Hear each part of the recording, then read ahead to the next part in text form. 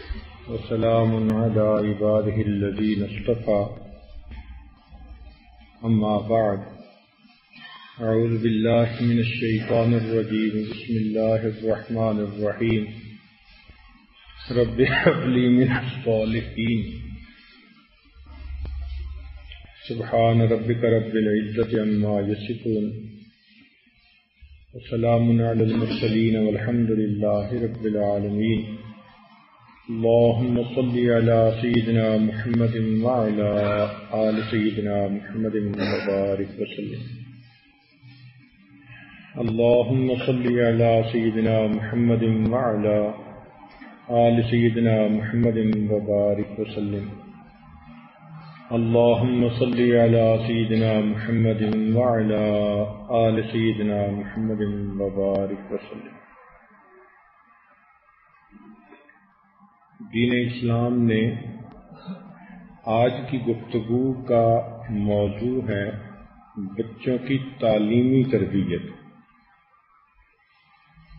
तो दीन इस्लाम ने इल्म हासिल करने के लिए जिस कदर अहमियत बयान की,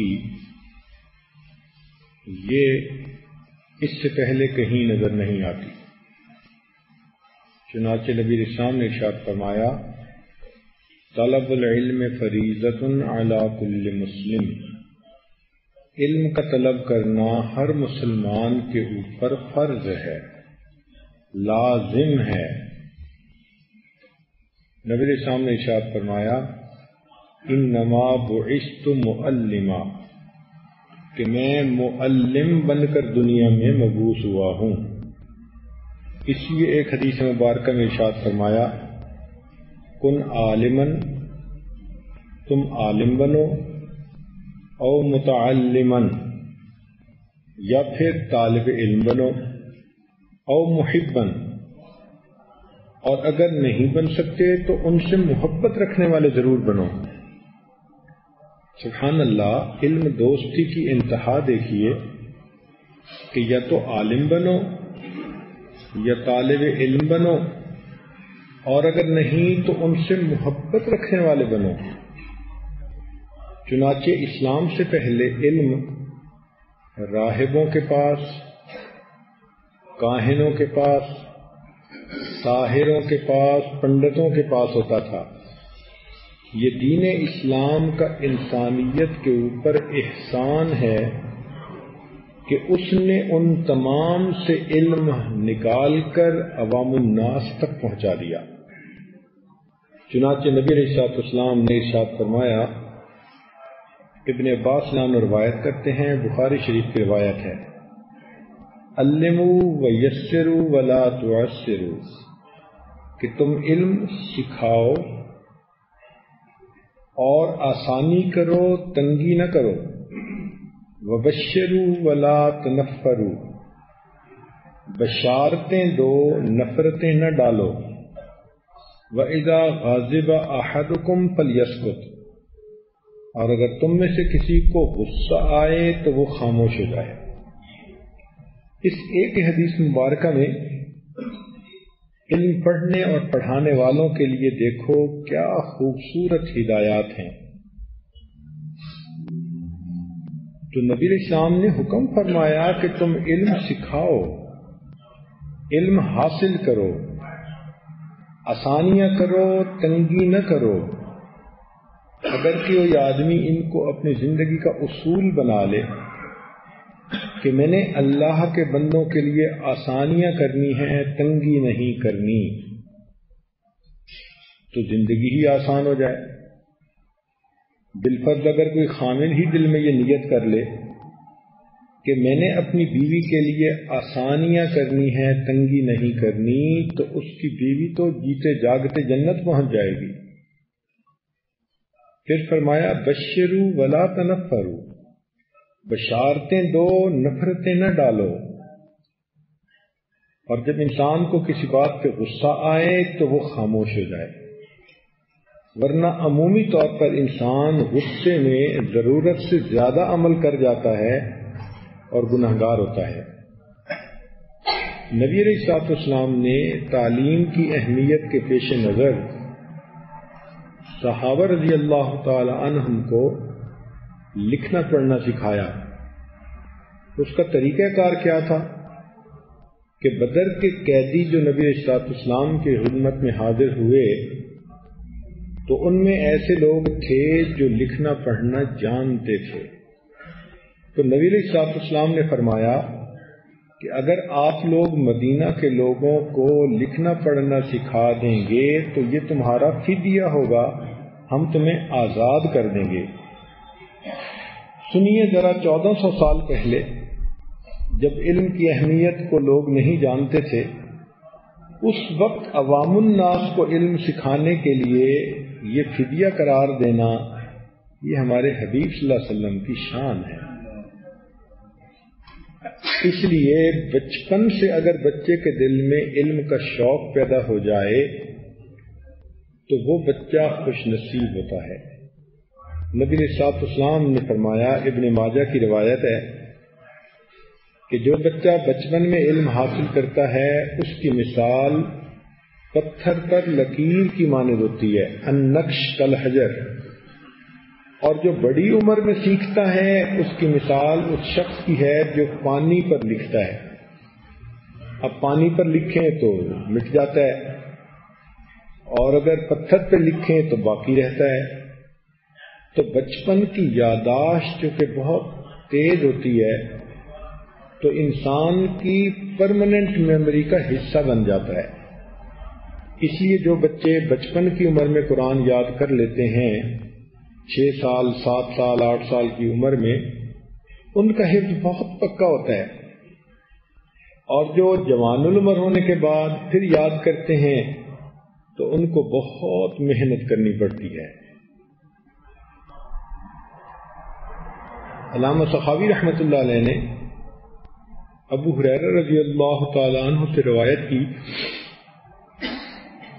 कि नबी इस्लाम ने इशाद फरमाया, जवानी में कुरान सीखो तो कुरान तुम्हारे रगो पै में दाखिल हो जाएगा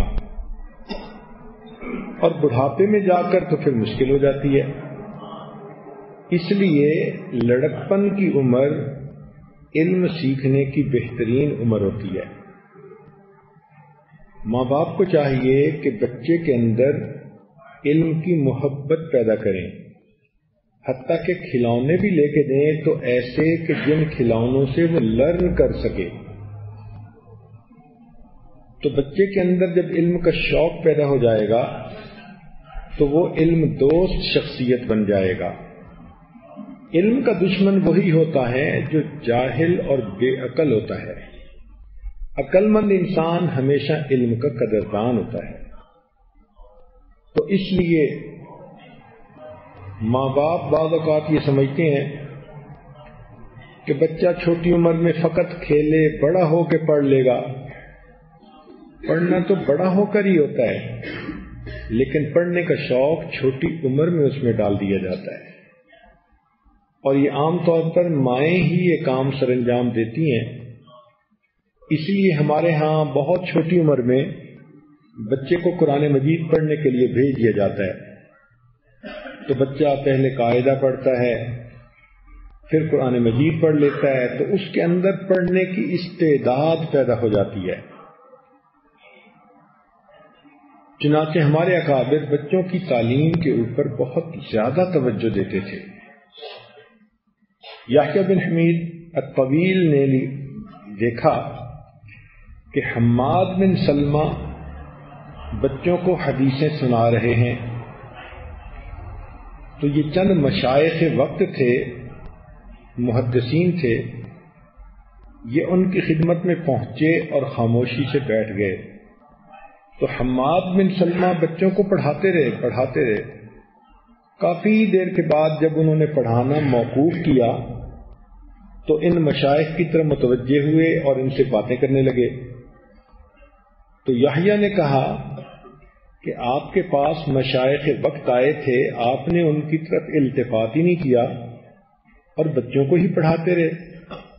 तो इस पर हम्माद बिन सलमा ने कहा कि मैंने असल में ख्वाब देखा, एक नहर है और मैं उसमें डोल लेकर खड़ा हूँ। और ये बच्चे मेरे सामने एक एक करके आते हैं और मैं इनके डोल में नहर से पानी डालता जा रहा इस वजह से मैंने इन बच्चों को पढ़ाने की तरफ़ ज़्यादा ध्यान दिया।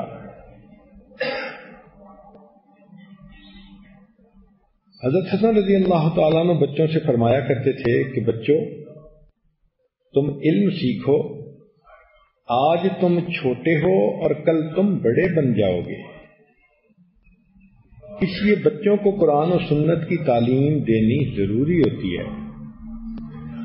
इमाम बुखारी रहमतुल्लाह ने दस साल की उम्र में हदीस मुबारक को हिफ्स करना शुरू कर दिया था। अब देखें, दस साल की उम्र कितनी छोटी उम्र है। लेकिन उनको बहुत सारी अहदीस याद हो गई थी। चुनाचे वो फरमाते हैं कि मैं एक दिन अपने उस्ताद की खिदमत में हाजिर हुआ। तो उस्ताद ने एक हदीस पाक की रिवायत करते हुए कहा कि सुफियान ने अबू जुबैर से और उसने इब्राहिम से नकल किया। तो मैंने कहा कि हज़रत, अबू जुबैर ने इब्राहिम से नकल नहीं किया। तो उन्होंने कहा कि ये मेरे पास तो इसी तरह लिखा है। तो मैंने कहा कि अबू जुबैर की इब्राहिम से मुलाकात नहीं। जिस जुबैर की मुलाकात है, वो जुबैर अदी है जिसने इब्राहिम से नकल किया है। चुनाचे उस्ताद उसी वक्त अंदर घर में चले गए और असल नुस्खा लेकर आए तो जब उन्होंने देखा तो उसमें सुफियान ने जुबैर अदी से और जुबैर अदी ने इब्राहिम से नकल किया था तो उस्ताद ने कहा कि इस बच्चे ने ठीक कहा। कि यहाँ रावी के नाम में फ़र्क पड़ गया। अब देखें कि दस साल का एक बच्चा है और वो इतने बड़े मुहदस की रवायत में रावी के नाम का एक फ़र्क निकाल लेता है, इसलिए कि उसकी कुत हाफजा कभी थी। अल्लाह की खास नेमत थी उसको मिली हुई। कई मरतबा पता नहीं चलता कि किस बच्चे को अल्लाह ने क्या सलाहियतें दी हैं। जब इल्म पढ़ने लगता है, तब खुलती हैं। हमें एक मरतबा मिस्किन पर शरीफ जाने का मौका मिला। तो हमने देखा कि वहाँ एक लड़का था। उम्र उसकी ग्यारह बारह साल के करीब थी। इतना खूबसूरत वो कुरान पाक पढ़ता था, इस कदर खूबसूरत कि अल्लाह अकबर। जब वो बच्चा पढ़ने लगता था तो क्लास के सारे बच्चे चुप हो जाते थे, उस्ताद खामोश हो जाते थे। हब कि दूसरी क्लासों के तलबा भी बाहर आकर खड़े होकर उसकी किरात को सुना करते थे। हमने एक मरतबा असर के बाद देखा कि वो बच्चा सूर्य यूसुफ पढ़ रहा है मस्जिद के सहन में। और पूरे मदरसे के तलबा और इस उसके गिरद जमा हैं और उसका कुरान सुन रहे हैं। इस आजिज ने जब सुना तो इतना प्यारा लगा कि कोई एक घंटा या इसके करीब करीब ये आजिज भी खड़ा उसका कुरान सुनता रहा। और बच्चे का हिफ्ज इतना पक्का था कि गलती तो आने का सवाल ही पैदा नहीं होता था। उसके उस्ताद ने उस बच्चे की अजीब कहानी सुनाई। कहने लगा, ये देहात का रहने वाला लड़का। तो माँ बाप ने छह सात साल की उम्र में इसको बकरियाँ चराने पे लगा दिया। चुनाचे चार साल ये बच्चा धूप में दोपहर के वक्त बकरियाँ चराता रहता। इसका आबादी से, लोगों से कोई वास्ता ही नहीं था कि लड़कपन में ही इसको वीराना मिला। तो बिल्कुल जैसे जानवरों वाली कैफियत होती है, इस बच्चे की आदतें ऐसी ही थी।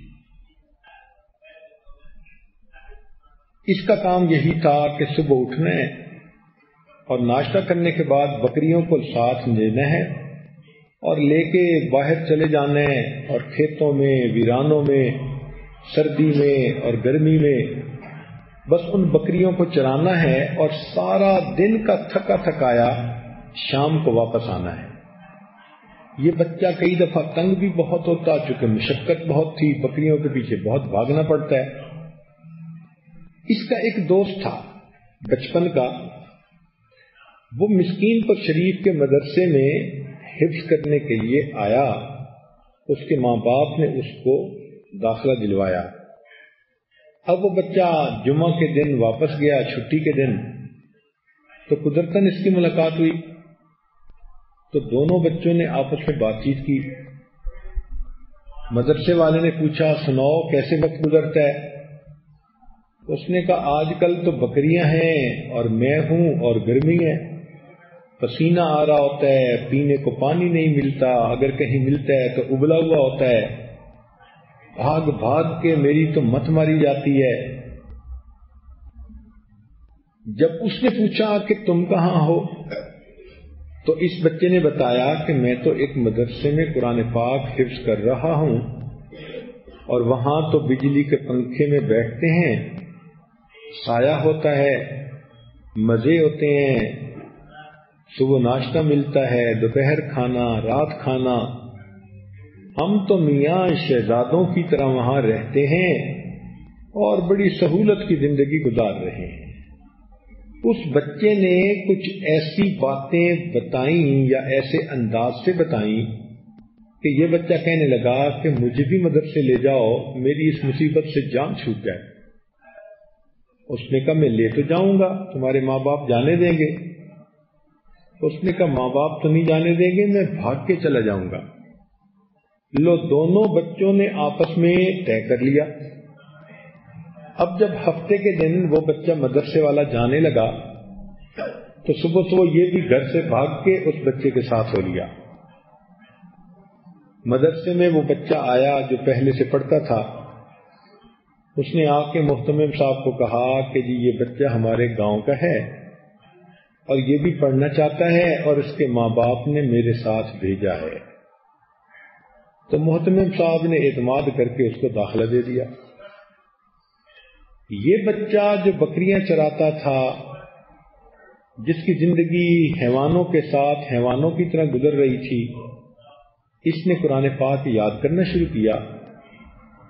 ऐसी इसकी तबीयत कुरान मजीद में चली और इसने कुरान पढ़ने में इतनी महारत हासिल कर ली कि जब भी इम्तहान होता था, इसके हमेशा सौ में से एक सौ पाँच नंबर होते थे। मुमतहिन, सौ में से सौ नंबर तो इसको देते थे और पाँच नंबर इसकी बेहतरीन परफॉर्मेंस के देते थे। और फिर ये बच्चा कुरान पढ़ता था तो लोग रश्क करते थे। चुनाचे हमने उस बच्चे को देखा, जाहिरी शक्ल में बिल्कुल न शक्ल थी, न अकल नज़र आती थी, लेकिन अल्लाह ने उसके अंदर क्या सलाहियतें दी थी, वो इतना अच्छा कारी बना और कुरान के पढ़ने वाला बना कि उसका कुरान सुनते थे तो वो कुरान लोगों का दिल मोह लिया करता था। तो हमें नहीं पता कि किस बच्चे के अंदर इल्म की कितनी इस्तेदाद है, सलाहियत है। ये तो माए बाप जब उसको इल्म की तरफ़ मुतवजे करते हैं तो तब उसकी कैफियतें खुलती हैं।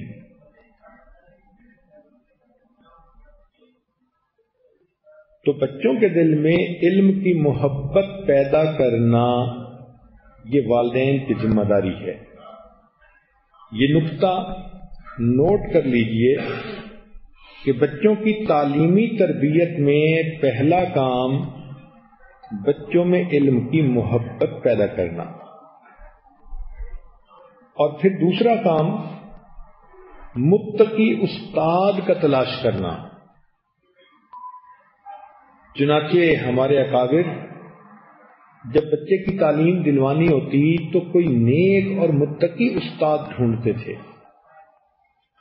इमाम मोहम्मद रहमत एक नवाब के बेटे थे।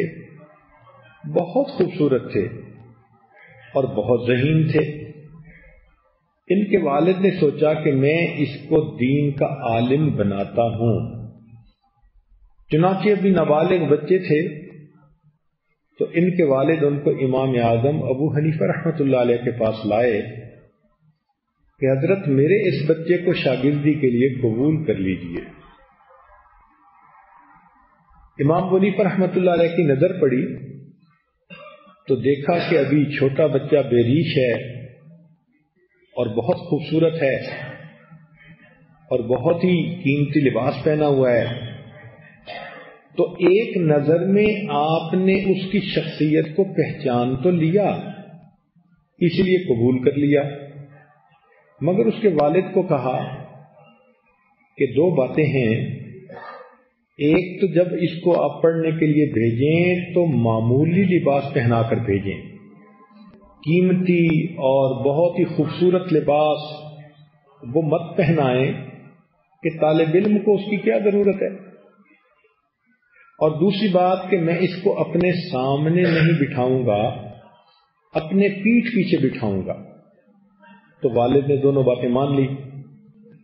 चुनाचे इमाम मोहम्मद रहमत पढ़ने के लिए जाते तो इमाम आज़म वहीं पर रहमत उनको अपनी पीठ पीछे बिठाते। क्यों? ये उनका तकवा था कि मर्द की नज़र गैर महरम औरत पर तो क्या पड़नी बेरीश बच्चे के चेहरे पर भी न पड़े। अब मर्द के देखने से भी शरीयत ने मना किया है। तो बच्चे को सामने नहीं बिठाया, पीठ पीछे बिठाया। चुनाचे इमाम मोहम्मद पीठ पीछे बैठते, सबक लेते, सुनाते, चले जाते। कई साल गुजर गए। एक दिन इमाम मोहम्मद रहमत किसी बात पूछने के लिए आए तो इमाम बोनी पर रहमत दीवार की तरफ़ मुँह करके बैठे थे और धूप ऐसी थी कि बंदे का साया दीवार पे पड़ता था। तो इमाम मोहम्मद रहमत का साया दीवार पर पड़ा तो इमाम आज़म रहमत ने देखा कि इसकी तो दाढ़ी बड़ी बड़ी है, उसका साया नज़र आ रहा है। अब उन्होंने पलट कर देखा, कहते हैं कि इमाम अबू हनीफा की पहली नज़र उस वक्त पड़ी जब बाप लेकर आया और दूसरी नज़र उस वक्त पड़ी जब अल्लाह ने उनको इतनी बड़ी सुन्नत के मुताबिक दाढ़ी अता फरमा दी। दरमियान में नज़र ही उसके चेहरे पे नहीं पड़ी। ऐसे मुत्तकी उस्ताद सुबहान अल्लाह फिर उस्ताद की सलाहियतें शागिद के अंदर मुनकस होती हैं। चुनाचे जब इमाम मोहम्मद रहमत पढ़ने लगे तो इमाम बोनी पर ने एक वक्त में उनसे पूछा कि तुम कुरान की फला आयत पढ़ो? उनका, मैं हाफिज नहीं। तो फरमाया कि तुम्हें पता नहीं कि मेरा शागिर्द बनने के लिए हाफिज होना ज़रूरी है। ये परी रिक्विजिट है। आप जाएँ और हिफ्स करके आए। तो इमाम मोहम्मद रहमत चले गए। और अल्लाह की शान के एक हफ़्ते बाद इमाम अबू हनीफा रहमत के पास फिर आए। तो इमाम साहब समझे कि शायद मिलने के लिए आए हैं। तो पूछा कि मोहम्मद कैसे आना हुआ? हज़रत आपने जो हुक्म दिया था, मैंने एक हफ़्ते के अंदर पूरे कुरान मजीद को याद कर लिया। चुनाचे किताबों में, कई किताबों में लिखा है कि इमाम मोहम्मद रहमत इतने जहीन थे कि एक हफ़्ते में कुरान मजीद को याद कर लिया था। उस्ताद का मुत्तकी होना इंतहाई ज़रूरी है। एक नुक्ते की बात याद रखें कि उस्ताद अगर मुसलमान है तो बच्चे को बाइबल पढ़ाकर भी मुसलमान बना देगा। और उस्ताद अगर काफिर है तो बच्चे को कुरान पढ़ाकर भी काफिर बना देगा। ये उस्ताद के हाथ में होता है। चुनाचे कई जगहों पर देखा कि काफिर उस्ताद ईमान वाले बच्चों का ईमान ही खराब कर देते हैं। हम एक मरतबा अमेरिका में थे। तो वहाँ एक एमबीबीएस डॉक्टर थे, उनका बेटा, वो भी डॉक्टर बनने के लिए मेडिकल कॉलेज में चला गया।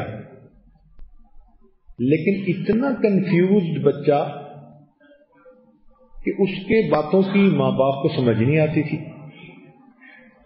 तो माँ बाप उसको उम्र के इरादे से लेकर मक्का मुकरमा आए।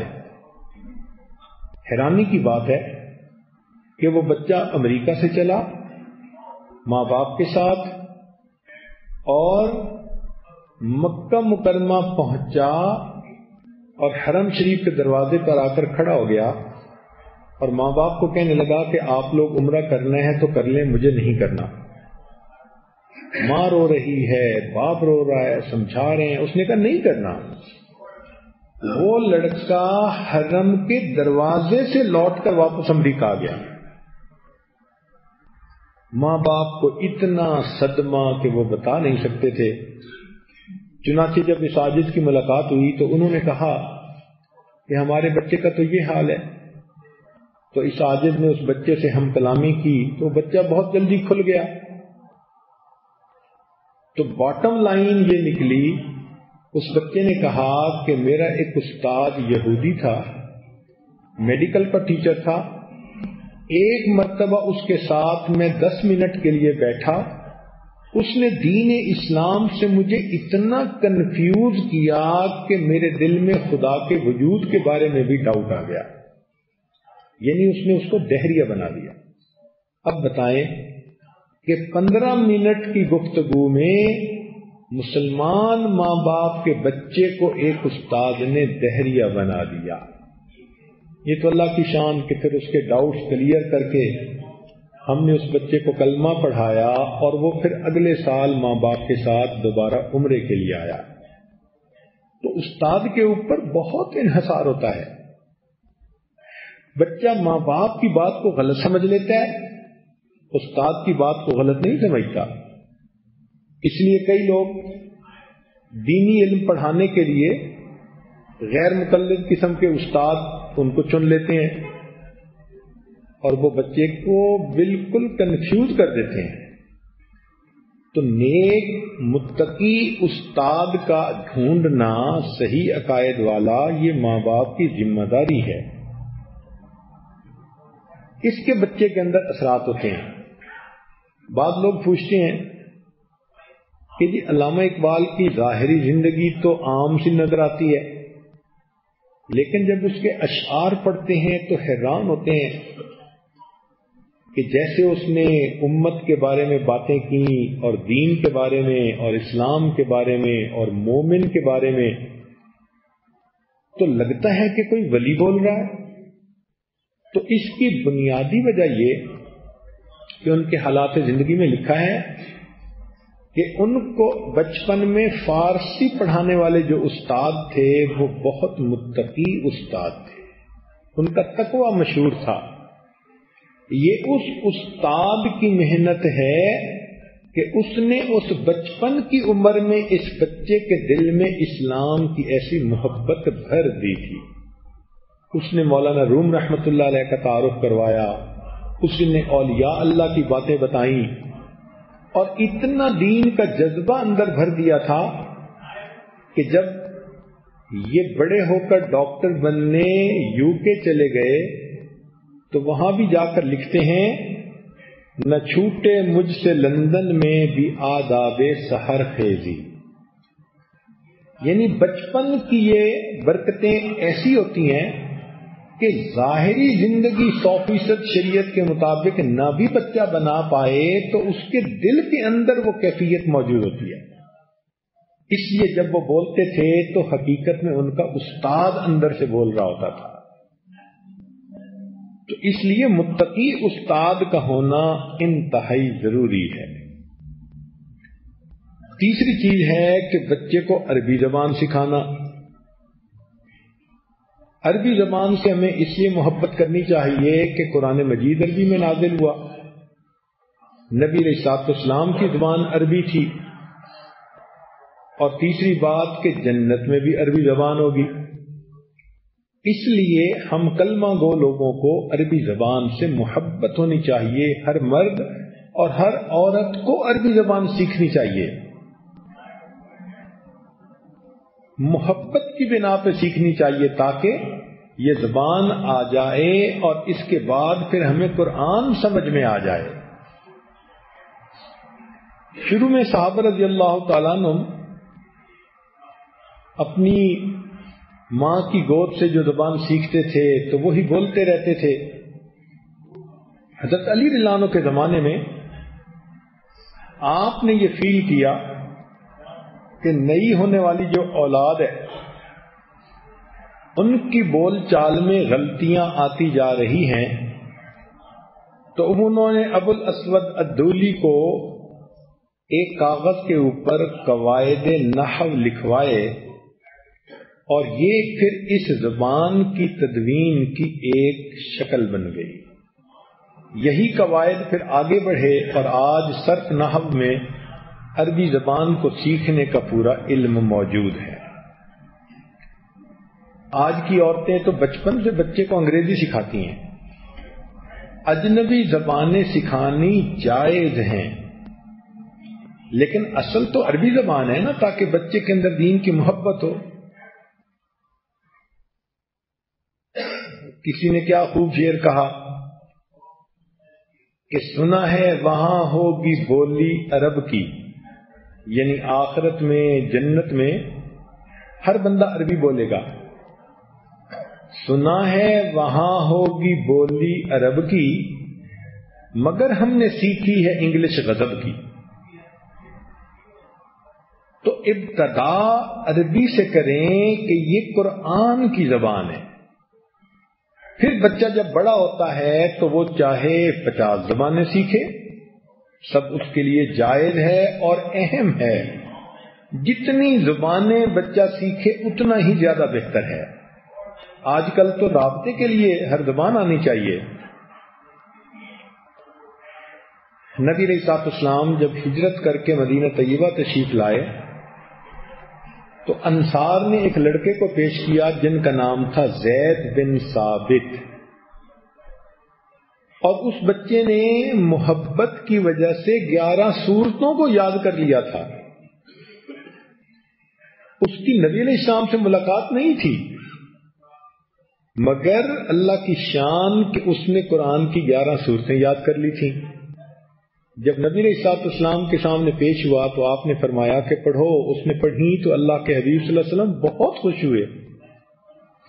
फिर आप वसल्लम ने उसको फरमाया कि, ए लड़के, ये यहूदी लोग अपनी ज़ुबान में कुछ इबारतें लिखकर लाते हैं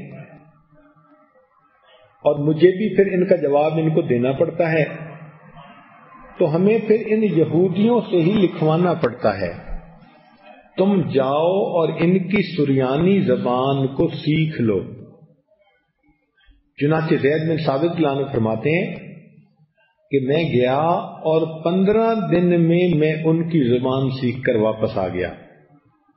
और एक रवायत में है कि सत्रह दिन में मैंने इबरानी जबान सीख ली। फिर उसके बाद जितने खतूत नबी इस्लाम ने इस जबान में लिखवाए, वो सारे मैं लिखा करता था। तो देखिए बच्चों की क्या सलाहियत है। आज कोई है बच्चा जो एक महीने में कोई दूसरी जबान सीखे? एक महीने में तो पता ही नहीं चलता कि जबान होती कैसी है। लेकिन अल्लाह ने उन लोगों को सलाहियतें इतनी दी थी कि पूरी ज़ुबान एक महीने के अंदर सीख ली। आज तो बच्चे पहली से शुरू करते हैं और चौदहवीं तक अंग्रेज़ी सीखते जाते हैं, फिर उसके बाद अंग्रेज़ी लिखने, पढ़ने में गलतियाँ कर लेते हैं। तो ये उसूल समझ लें कि मुसलमान होने के नाते बच्चे को इब्तदा अरबी से करवानी चाहिए। और वो कैसे होगी? वो कुरान मजीद के पढ़ाने से होगी। शुरू में बच्चे को आप सरफनाव नहीं शुरू करवाएँगी, वो तो छोटा होता है। उस बच्चे को अरबी जबान पढ़ना सिखाएँ, ये अरबी से इब्तदा हो गई। अब वक्त के साथ बच्चा अरबी भी पढ़ेगा, बाकी जबानें भी पढ़ेगा।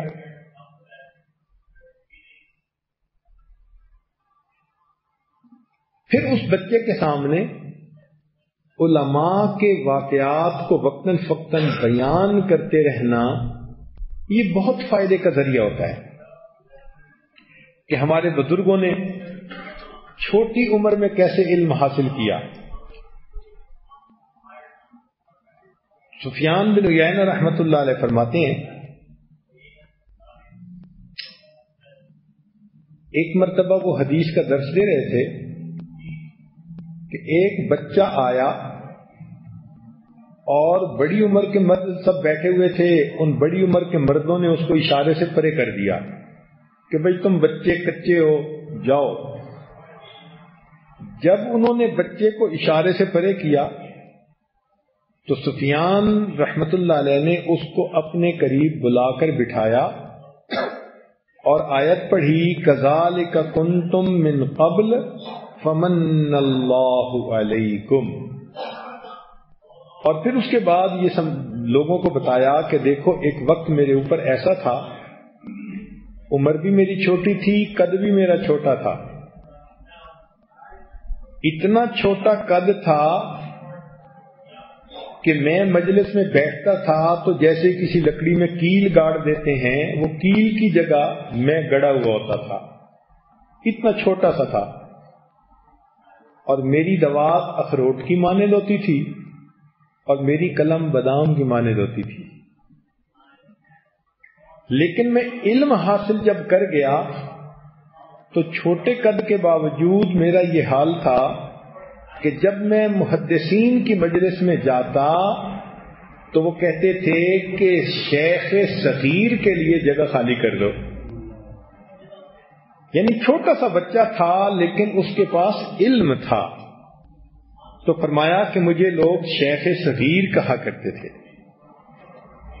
इमाम मालिक रहमतुल्लाह ने जब पढ़ने का इरादा किया तो उनकी वालदा ने उन्हें काली पगड़ी बांधी और फरमाया कि बेटा रबिया राय के पास चले जाओ और उनसे अदब भी खूब सीखो। इमाम मालिक रहमत फरमाते हैं, ये वो जमाना था कि इमाम नाफे रहमत मस्जिद में फजर की नमाज़ पढ़ते थे और बैठते थे और उनके करीब कोई दूसरा बंदा नहीं बैठता था। तो मैं लड़का था, मैं फजर के बाद उनके पास बैठ जाता तो वो मुझे नबी सलाम की अहदीस सुनाते थे और मैं उन अहदीस को याद कर लिया करता था।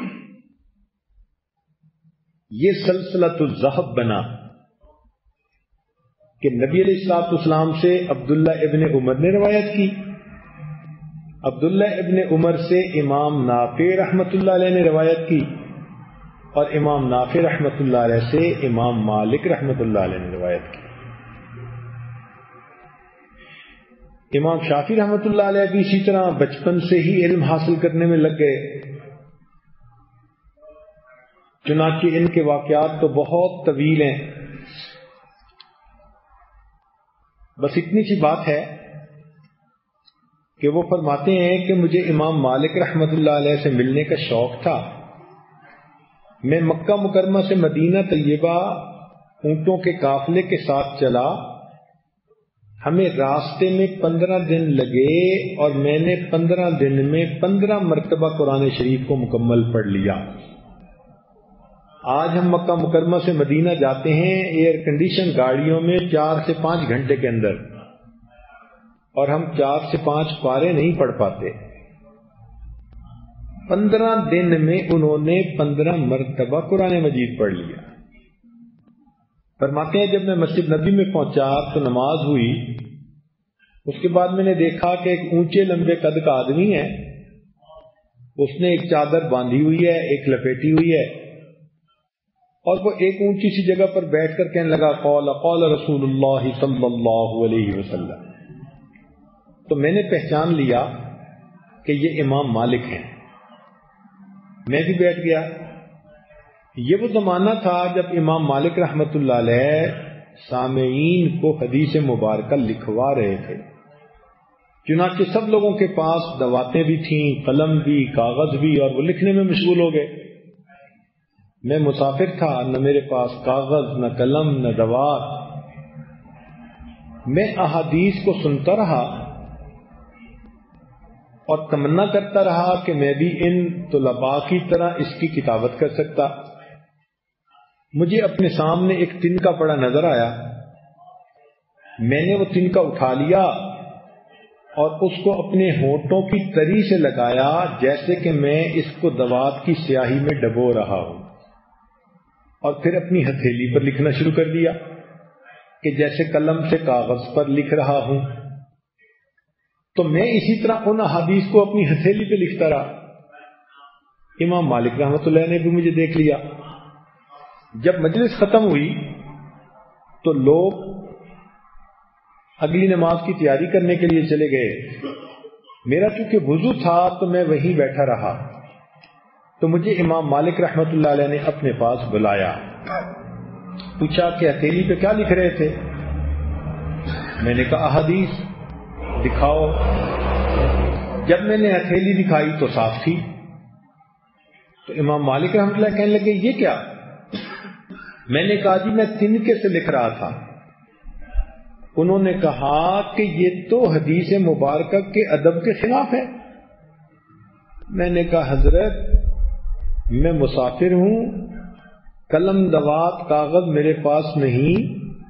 मैंने तो इन तलबा से मुशाबहत हासिल करने के लिए तिनके से अपनी हथेली पर लिखना शुरू किया। हकीकत में तो मैं अपने दिल में लिख रहा था। तो इमाम मालिक रहमल्ला ने फरमाया कि अच्छा जितनी अहादीस मैंने लिखवाई हैं, उनमें से आधी मुझे सुना दो। इमाम शाफी रहमत फरमाते हैं कि एक सौ के करीब अहादीस इमाम मालिक ने लिखवाई थी, मैंने सारी की सारी मतन और सनद के साथ उनको सुना दी। तो इमाम मालिक रहमत फरमाने लगे कि वाकई इस बच्चे को अल्लाह ने खास जहानत अता फरमाई है। चुनाचे इमाम शाफी रहमत इमाम मालिक रहमत के शागिर्द बन गए। ऐसे होने हार शागिर्द थे कि इमाम मालिक भी हैरान हो जाते थे। चुनाचे एक मरतबा एक आदमी आया और कहने लगा जी कि मैंने बुलबुल बुल बेचनी थी और खरीदने वाले को कसम खा के मैंने कह दिया कि ये बुलबुल बुल सारा दिन बोलती रहती है। और बाद में मुझे ख्याल आया कि भाई सारा दिन तो नहीं बोलती। चुप्पी होती है। और मैंने कसम उठाई तो मैं हानिस तो नहीं बना। तो इमाम मालिक रहमत ने फरमाया, हाँ, तुम हानिस बन गए। जब इमाम मालिक रहमत ने फतवा दिया तो इमाम शाफी रहमत ने बच्चे थे। उनके एक शागिद से कहने लगे कि, भाई, उस्ताद के इस फतवे के अंदर मुझे कुछ कलाम की गुंजाइश नज़र आती है। उसने इमाम मालिक रहमत को बतला दिया। इमाम साहब ने पूछा भी क्या? सीधी सीधी बात है। उसने कहा कि ये बुलबुल सारा दिन बोलती रहती है, वो सारा दिन तो नहीं बोलती। तो वो हनस बन गया, कसम खाई थी उसने। तो इमाम शाफी रहमत ने कहा कि, हज़रत, आपसे ही हमने ये हदीस मुबारक सुनी कि जब फातिमा बिन कैस ने निकाह का इरादा किया तो उनके पास दो मर्दों के पैगाम आए। एक अबू जहम रजिल्लानों का और एक मुआविया रजिल्लानों का। तो वो मशवरे के लिए नबी इस्लाम की खिदमत में हाजिर हुई कि अल्लाह के नबी सल्लल्लाहु अलैहि वसल्लम मेरे दो प्रपोजल आए हैं, एक अबू जहम की तरफ़ से, एक मुआवियत लानो की तरफ़ से। तो नबी इस्लाम ने सुनकर फरमाया कि अबू जहम तो कंधे से लाठी उतारता ही नहीं। यानी बाद लोग होते हैं ना, सख्त मिजाज होते हैं, हर वक्त लात में लाठी रहती है। तो इनके बारे में नबी इस्लाम ने फरमाया कि अबू जहम तो कंधे से लाठी उतारता ही नहीं और माविया के पास माल नहीं, बिल्कुल ही कल्लाश है। तो अब इस हदीस में नबी ने जो फरमाया तो ये उर्फन बतलाया। कि अबू जहम के पास अक्सर और बेशतर लाठी रहती थी। ये मतलब नहीं था कि लाठी कंधे से उतरती नहीं थी, न दिन में, न रात में, न सोते, न जागते। तो अगर उर्फ़ में नबी इस्लाम ने यह बात फरमा दी तो उर्फ़ में अगर उस बंदे ने भी कह दिया कि ये बुलबुल सारा दिन बोलती रहती है तो मतलब यही लिया जाएगा कि दिन का अक्सर हिस्सा बोलती है थोड़ी देर खामोश होती है, ये हानिस नहीं बनेगा। तो इमाम मालिक रहमत ये बात सुनकर हैरान हुए।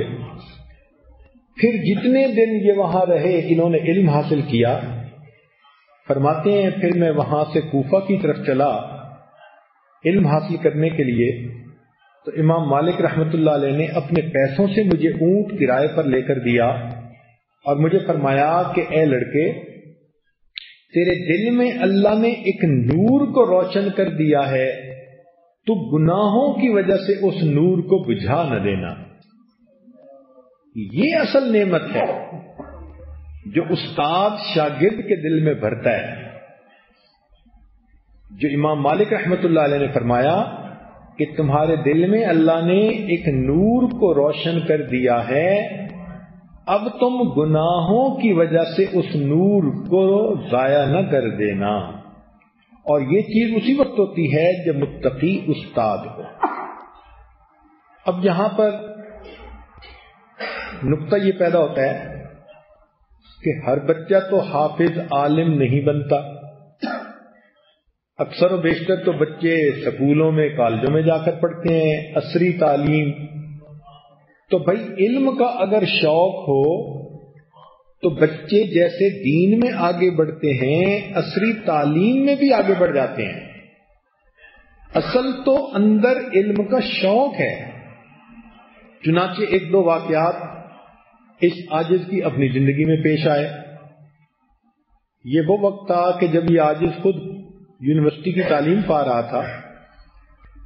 हमारे मोहल्ले में एक गरीब आदमी था जिसको बुढ़ापे में अल्लाह ने बेटा अता किया। शायद शादी के कोई 25-30 साल के बाद उसके यहाँ बेटा हुआ। अब बेटा जब बड़ा हुआ, जवान हुआ तो माँ बाप दोनों बिल्कुल ही बूढ़े हो गए। बच्चे ने मैट्रिक का इम्तहान दिया। अच्छे नंबर पे पास हुआ। पूछा, अब्बू, मेरा आगे पढ़ने को दिल करता है? बाप ने कहा, बेटा मैं बीमार हूँ, मजदूरी कर नहीं सकता। माँ भी तेरी बूढ़ी है, और हमारा कोई सहारा नहीं।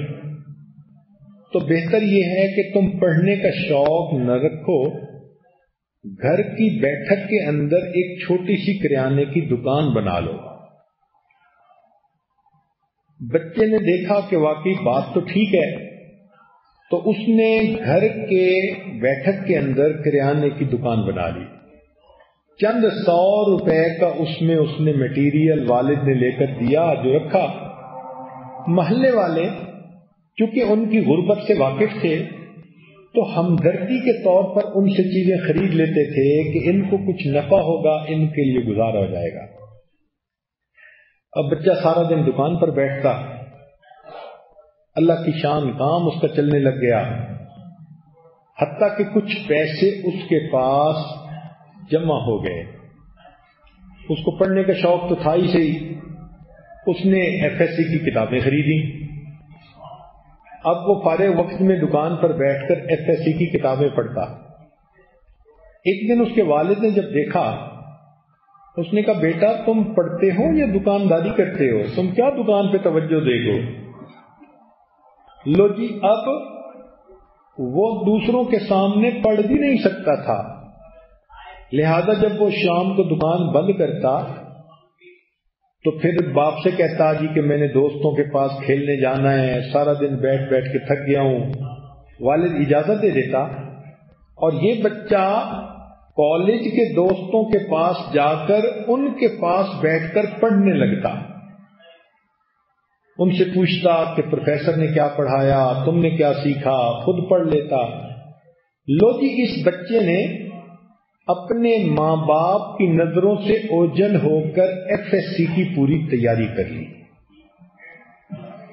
अब इम्तिहान देने का वक्त था।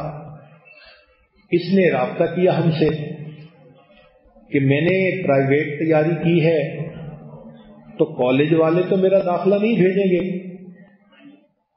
तो हम लोगों ने अपने बड़े भाई और कुछ और प्रोफेसर हजरात की वसात से प्रिंसिपल साहब को यह गुजारिश की कि इस बच्चे ने प्राइवेट तैयारी की है। आप इसका इम्तहान ले लें, टेस्ट ले लें। अगर आपको महसूस हो कि ये बच्चा पास होने वाला है तो इसका दाखला भिजवा दें।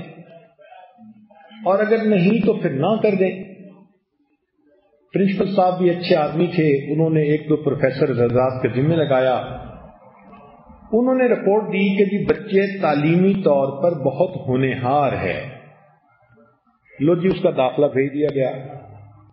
अब जब इम्तहान के दिन आए तो बच्चे ने अपने वालिद से कहा कि, अब्बू, एक हफ़्ता मुझे जरा खरीदारी करनी पड़ेगी कुछ चीज़ों की तो आप मेरी मदद करना दुकानदारी में, ताकि मैं चीज़ों की खरीदारी अच्छी और कम कीमत पे कर लूँ।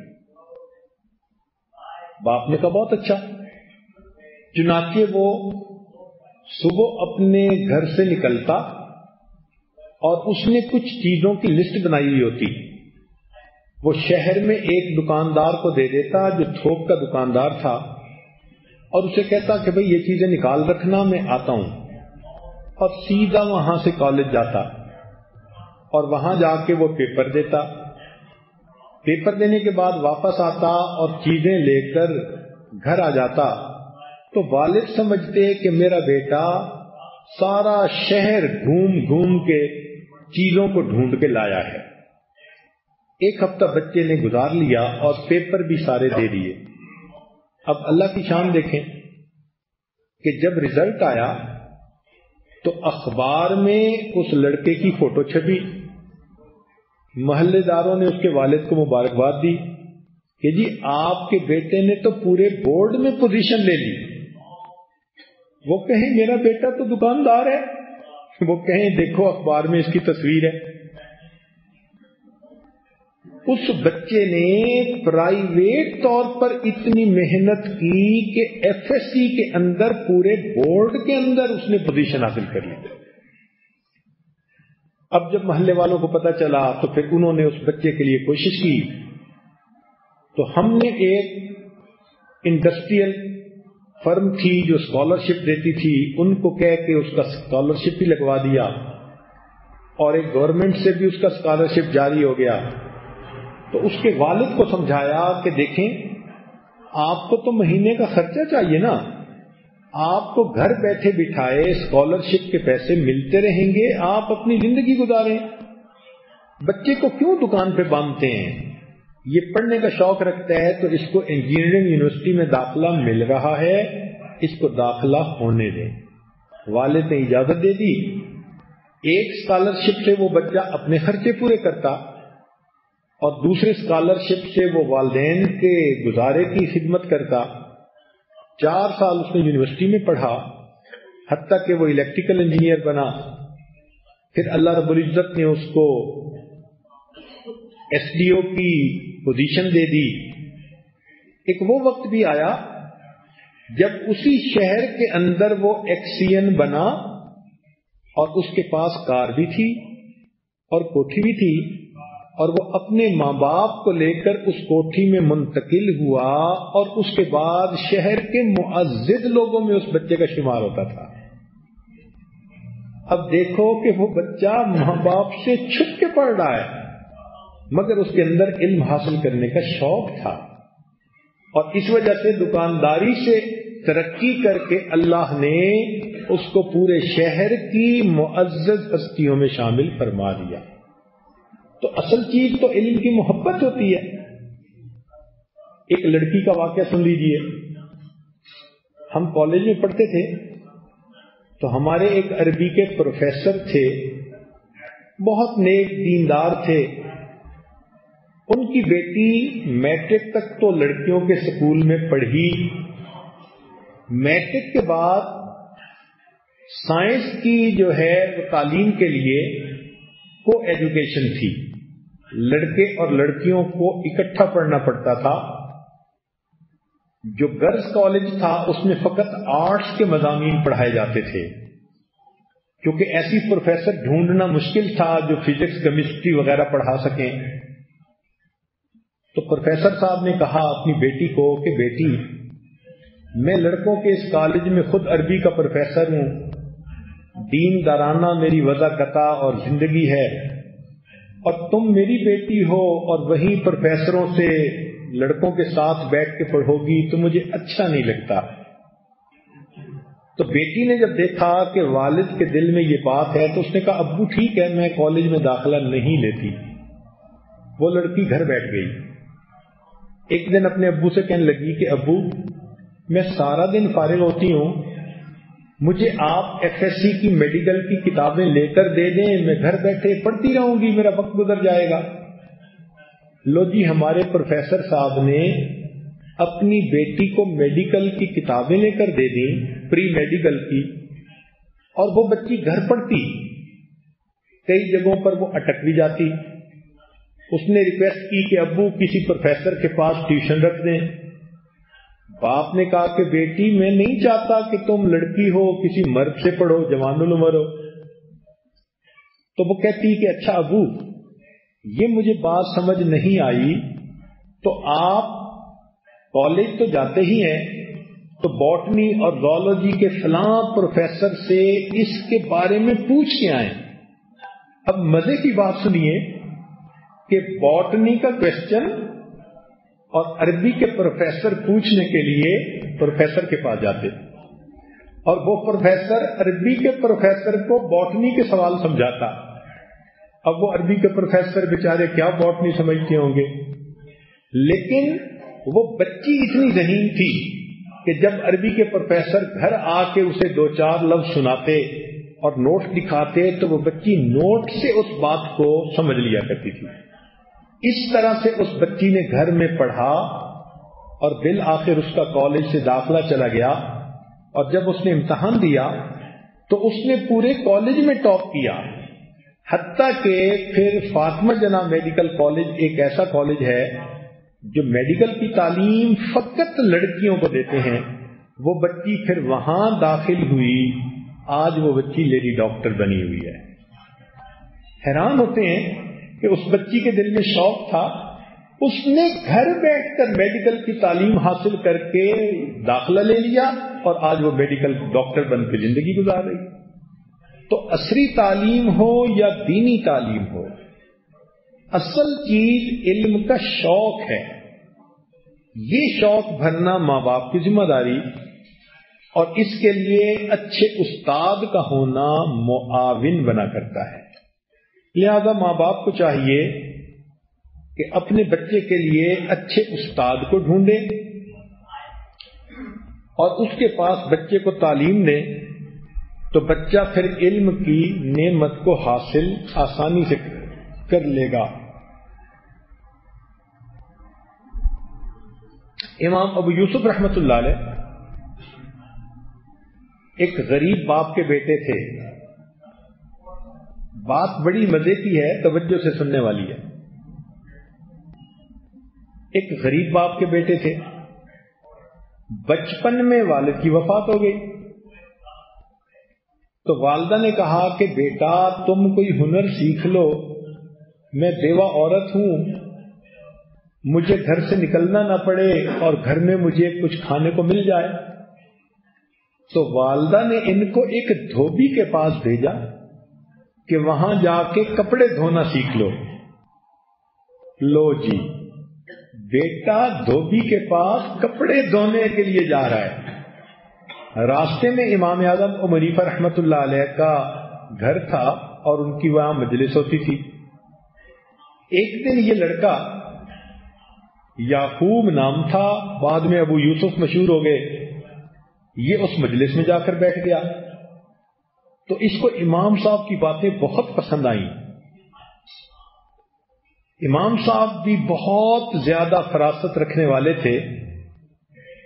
उन्होंने भी लड़के को देखकर फ़ौरन पहचान लिया कि अल्लाह ने इसको बड़ी सलाहियतें दी हैं। उन्होंने पूछा कि भाई, क्या तारुफ है? कि जी, वालिद फौत हो गया। अकेली वालदा है। उसने मुझे धोबी के पास भेजा कि कपड़े धोने का फन सीखो। इमाम साहब ने कहा कि तुम सारा महीना मेरे पास आया करो और जितने पैसे धोबी तुम्हें देगा, उससे ज़्यादा पैसे मैं तुम्हें दे दिया करूँगा। तो तुम जाके अपनी वालदा को दे देना, मकसद तो पूरा हो जाएगा। चुनाचे इमाम अबू यूसुफ रहमतुल्लाह ने भी ऐसा ही किया। अब ये सारा दिन तो इमाम साहब के पास गुजारते। और महीने के बाद तनख्वाह के पैसे लेकर अपनी वालदा को जाकर दे देते। जब वालदा को पैसे मिलने लगे तो वो मुतमिन ज़िंदगी गुजारने लगी। कई साल गुजर गए हत्या कि ये जवान उम्र, बड़ी उम्र के हो गए। एक दिन वालदा को पता चला कि मेरा बेटा तो कपड़े धोना जानता ही नहीं। उसने पूछा, बेटे क्यों? अम्मा, मैं तो इल्म हासिल करता हूँ। और पैसे तो मुझे उस्ताद दे देते हैं, वो मैं आपको ला के दे देता हूँ। तो माँ ने कहा कि बेटा, तुम कपड़े सीखो, कपड़े धोना सीखो, ताकि तुम्हारे अपने आमदनी का ज़रिया हो। चुनाचे इमाम अबू यूसुफ रहमत की वालदा, उनको साथ लेके इमाम आज़म रहमत के पास आई। और उनसे कहा कि मेरे बेटे को आपने पढ़ने पढ़ाने पे लगा दिया बेहतर था कि ये कपड़े धोने का फन सीखता। तो इमाम साहब ये सुनकर मुस्कुराए और फरमाया कि देखो, तुम्हें खर्चा तो मिल ही रहा है। मैं इस बच्चे को ऐसा फन सिखा रहा हूँ कि जब ये सीख जाएगा तो ये पिस्ते का बना हुआ हलवा खाया करेगा। अब इमाम साहब की इस बात को उस बूढ़ी औरत ने समझा कि शायद मज़ाक कर रहे हैं, वो चुप हो गई। मगर खर्चा मिल रहा था, उसने ज़्यादा मुश्किल पैदा नहीं की। तो इमाम अबू यूसुफ रहमत इमाम आज़म के होनहार शागिर्द बने हत्या के इमाम बन गए। और एक वो वक्त भी आया, जब वक्त के बादशाह को मुल्क के चीफ जस्टिस की ज़रूरत थी। तो उसने इमाम अबू वनीफा रहमत से मशरा किया तो आपने इमाम अबू यूसुफ को इसके लिए तजवीज किया।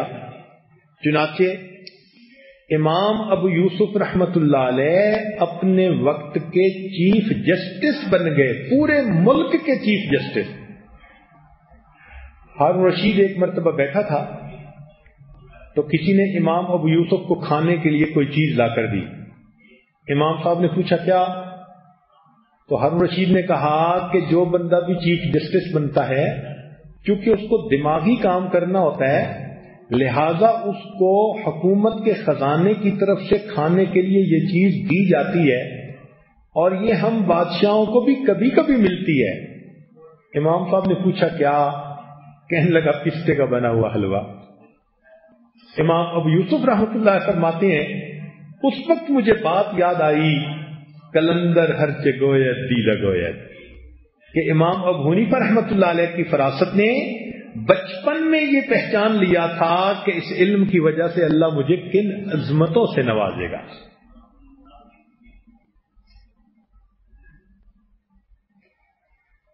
एक आखिरी वाक्य सुनाकर बात को मुकम्मल करता हूँ कि हमारे मशाइख ने इब्तदाई उम्र में इल्म हासिल करने के लिए कितनी कोशिशें की।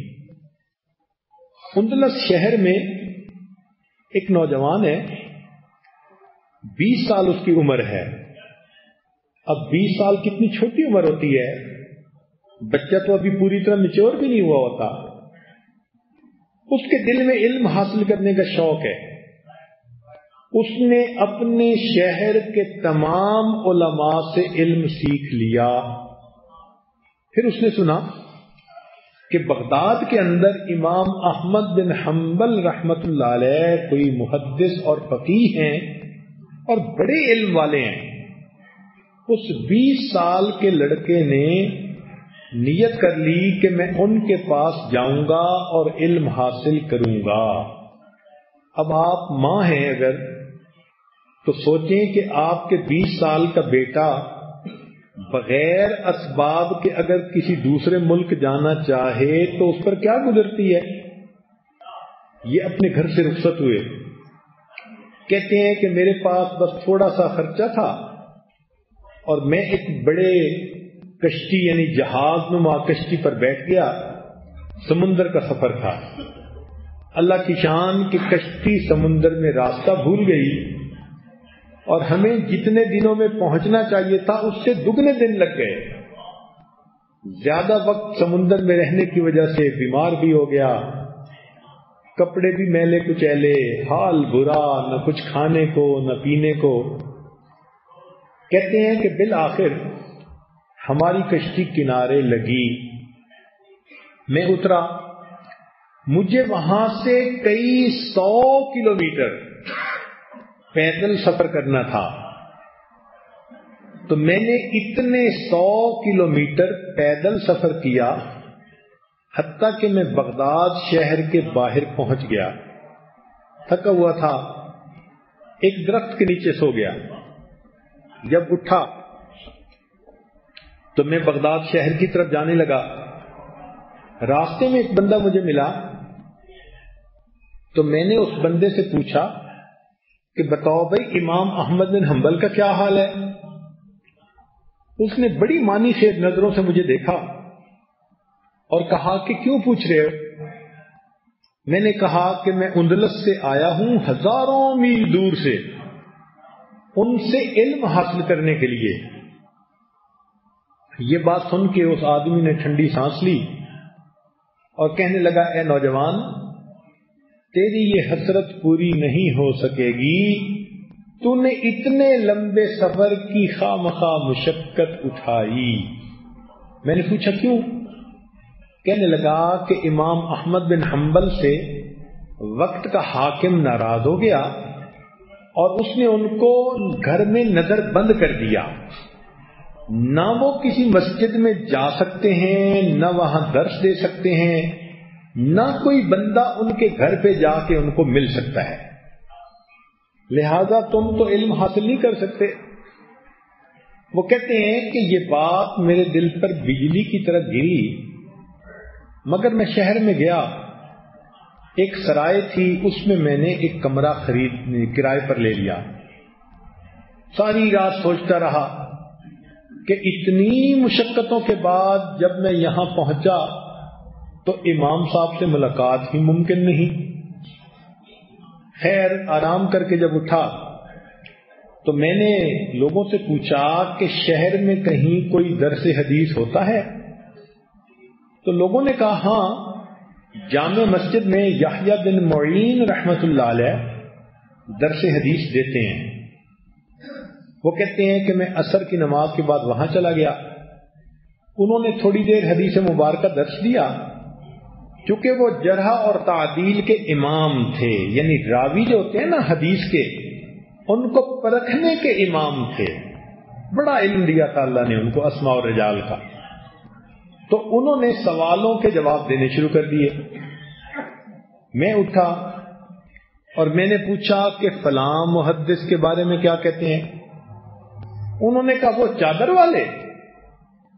वो तो इतने अच्छे हैं कि अगर उनकी चादर के नीचे तकबर भी आ जाए तो उनकी सकाहत में कोई फ़र्क नहीं पड़ता।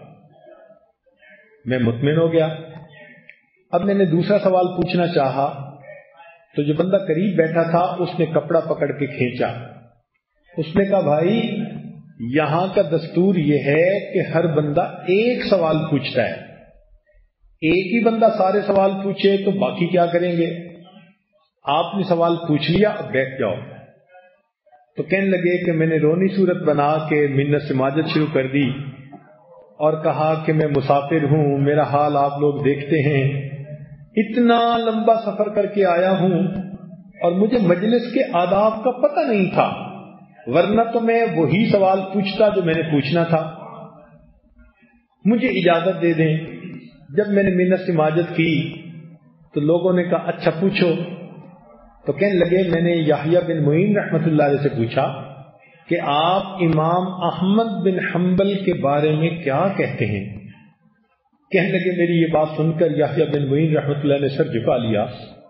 थोड़ी देर खामोश रहे, फिर सर उठाकर कहने लगे कि इमाम अहमद बिन हम्बल तो इमामुल मुस्लिमीन है।